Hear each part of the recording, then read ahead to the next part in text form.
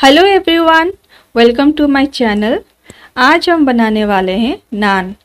तो मैंने लिया है मैदा, चीनी, थोड़ा सा नमक, बेकिंग सोडा, ऑयल,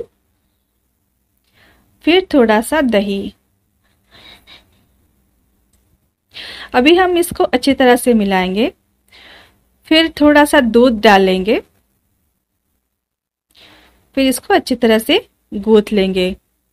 आप चाहो तो फिर से थोड़ा ऑयल डाल सकते हो। अभी देखिए हमारा डो रेडी हो चुका है। अभी इसको ढककर कुछ समय के लिए छोड़ देते हैं। अभी देखिए हमारा डो रेडी हो चुका है। ये बहुत नरम हो चुका है। अभी हम इसका बड़ा बड़ा सा गोला बनाएँगे। फिर इसको बेल देंगे।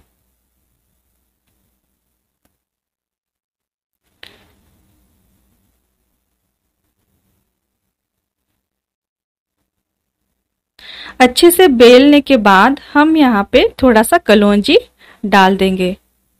और कलौंजी डालने के बाद इसको अच्छी तरह से बेलेंगे ताकि कलौंजी अच्छी तरह से चिपक जाए। फिर इसको तवे में डाल के हम इसको बेक करेंगे।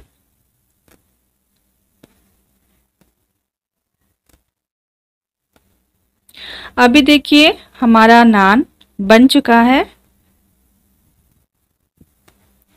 अभी हम नान को ग्रीसिंग करेंगे। इसके लिए चाहिए थोड़ा सा बटर और थोड़ा सा कोरिएंडर लीव इसको अच्छी तरह से मिलाएँगे। फिर इसको नान के ऊपर कोटिंग करेंगे ताकि नान थोड़ा सा नरम हो जाए और खाने में बहुत स्वादिष्ट हो।